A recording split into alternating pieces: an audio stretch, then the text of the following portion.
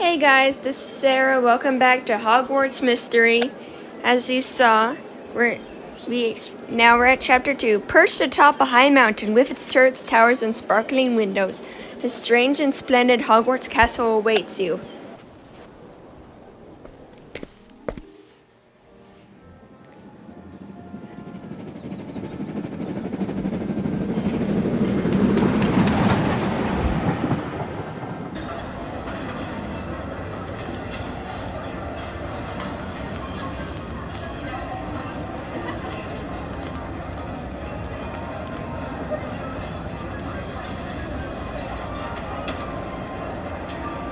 Here we go.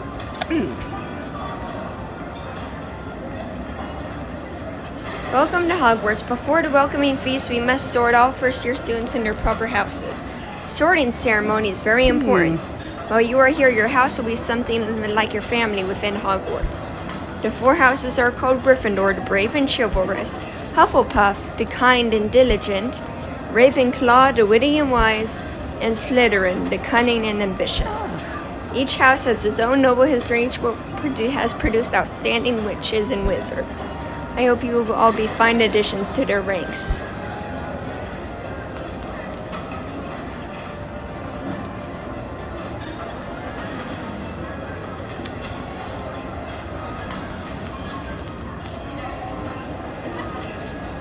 And now for Sarah Faye.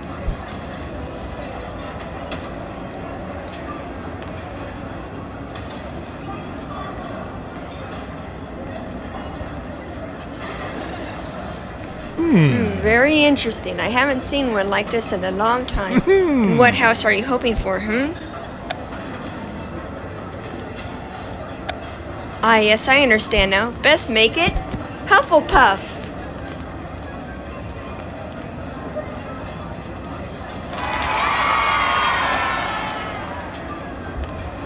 A Hufflepuff, I can't believe it. I can't believe I'm really at Hogwarts. I better sit down. The headmaster's about to speak. welcome, welcome to another year at Hogwarts.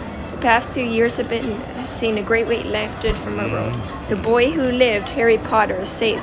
Years from now, young Harry will be old enough to attend Hogwarts. But for now, it's your turn. Remember, while you are at Hogwarts, your triumphs will earn you house points, while any rule breaking will lose house points. At the end of the year, the house with the most points is awarded the House Cup, a great honor. I hope each of you will be a credit to your house.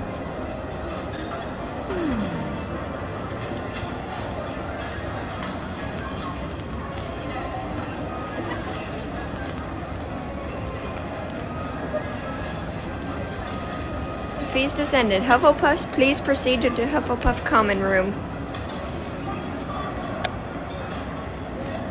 See you guys on the next one.